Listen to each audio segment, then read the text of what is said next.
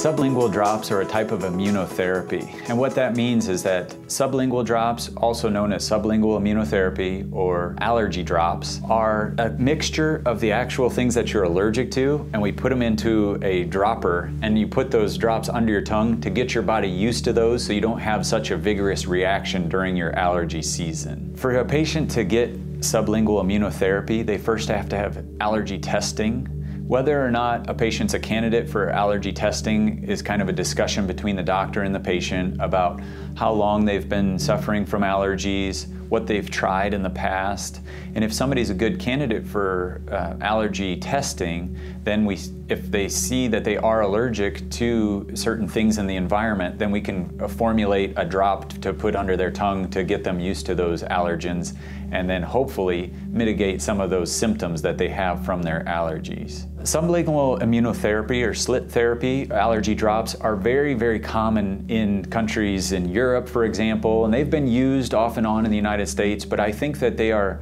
a convenient alternative to allergy shots, which are the mainstay in, in the United States.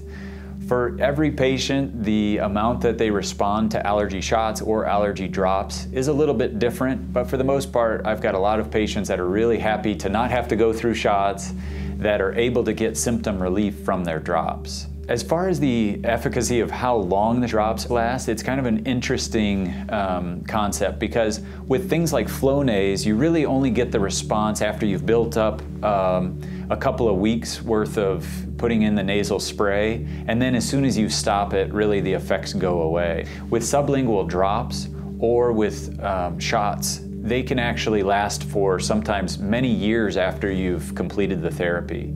Some people will not get response right away with this uh, drops or with the shots, and they take several months to kind of build up that immunity to the allergen. And then after they've built up the immunity, then sometimes after a few years, they may back off and try a, a going to every other week or something like that. And then We've had patients that do shots for five years and then get results for 15 years after that. And so um, that's one of the nice things about allergy shots and allergy drops is that they can last for many years after we've stopped therapy.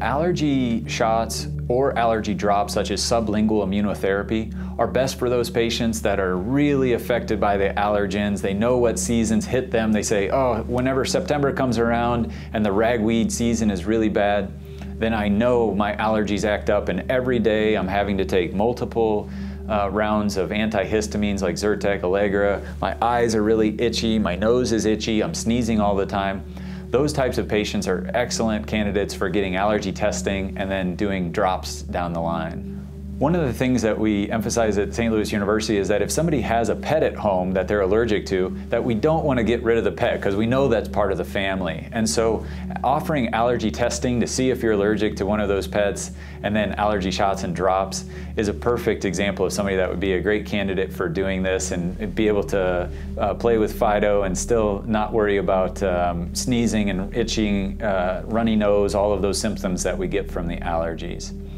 There are some patients that are not good candidates for uh, doing um, allergy shots or allergy testing. And some of those patients may be on a heart medication, such as a beta blocker, and they're not good candidates because of the re reaction that we see between um, the beta blocker and some of the reversal medications that we have to use for allergy uh, situations.